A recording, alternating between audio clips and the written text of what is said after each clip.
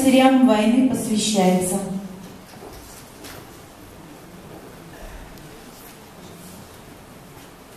Стоит избушка на краю села, И под окном бушует гусь сирени. В избушке той живет совсем одна Старушка-мать, известна всей деревне.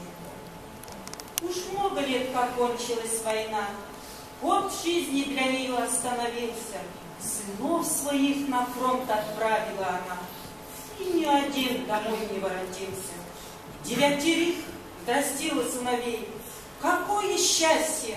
Как она гордилась! Ну, подло, грозная война, Старушку-мать осиротила.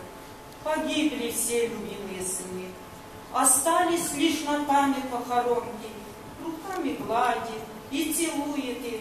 Сыны лежат в земле, в чужой сторонке.